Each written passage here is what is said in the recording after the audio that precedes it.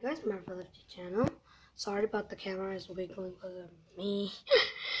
I yeah, I know. That's this is called the my favorite guns and bombs. That's Splatoon. There's part one and part two. Today we're gonna go into the first one. Today is the Splat Charger. The reason I like the Splat Charger because it's um like one hit, boom, That goes kablam, splat it, and long range, long range,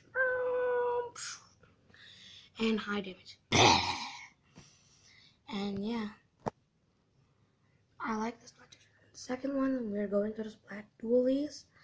I like the Splat Dualies because they um dual the thing magic. I know I don't know my drawing's good or not. Um, part one. That's NZAP 89, and yeah, that's all.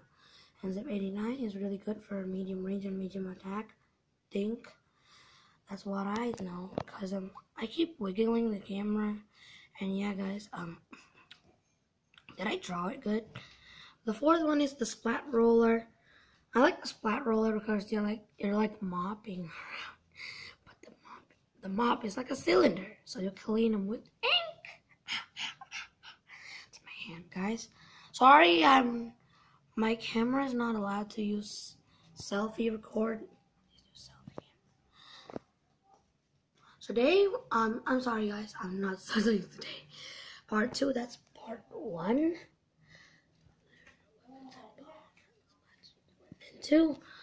First, the fifth one we got the splatter scope. And I like the splatter scope because um, I like the scope so much and like it's, the same seems the splat charger. High damage and high range.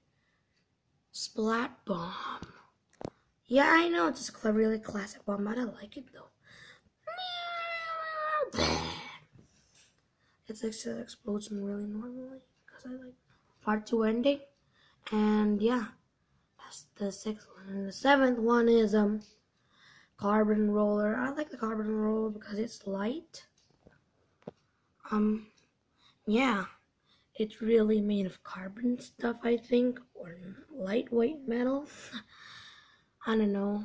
Well, yeah. Hope you guys like it, enjoy, subscribe, and comment below. What's your favorite good? Let me ask you in the in the comment below chart.